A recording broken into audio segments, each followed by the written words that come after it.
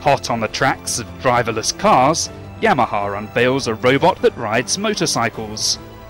The Japanese company says it's completely autonomous, twisting the throttle when it wants to go faster, as well as braking and changing through the gears. The humanoid, dubbed Motobot version 1, analyses its location and route via a global positioning system, all without human input. This model can hit speeds of 120 km per hour, though it still needs stabilizers either side to help keep its balance at slower speeds. Launched at the Tokyo Motor Show, Yamaha says robots like this could one day drive any car, making current driverless technology unnecessary.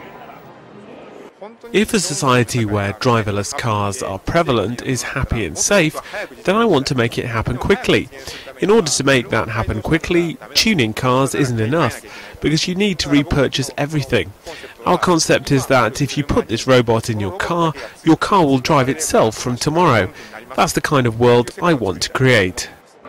Yamaha says the technology used in motobots will also be used to develop better rider safety and support systems. They're also aiming to build a robot which can ride an unmodified motorcycle on a racetrack at more than 200 kilometers an hour.